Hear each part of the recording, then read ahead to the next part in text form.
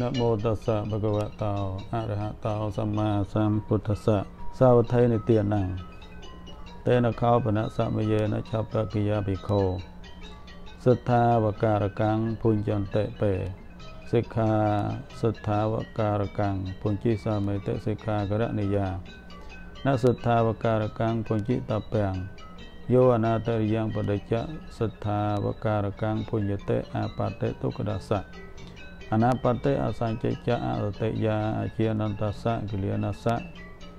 កវចរាំងឆាត់ដេនតោសិទ្ធាំងឆាត់ដយតេអាវទាសោឧមតកាសៈអតិកមិកាសាតេសាវថេនិទានសម័យនោះឯងពួកចៅបគីវិខុឆាន់ធ្វើក្របបាយឲ្យជ្រុះរយរាយឡា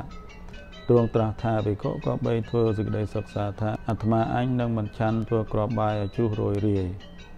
ភិក្ខុមិនត្រូវឆាន់ធ្វើក្របបាយឲ្យជ្រុះរយរាយទេភិក្ខុណាអាស្រ័យសេចក្តីមិនអើពើឆាន់ធ្វើក្របបាយឲ្យជ្រុះរយរាយត្រូវអាបត្តិទុកតវិរៈដែលមិនត្រូវបាត់ក្នុងសិក្ខាបទនេះមាន8យ៉ាងគឺភិក្ខុមិនខ្លែងមួយភិក្ខុមិនមានស្មារតីមួយភិក្ខុមិនដឹងខ្លួនមួយភិក្ខុមានជំងឺមួយភិក្ខុចោលសម្រាមដោយទៅទាំងក្របបាយមួយភិក្ខុមានសេចក្តីអន្តរាយមួយភិក្ខុឈួតមួយ និងភិក្ខុដើមបញ្ញត្តិមួយ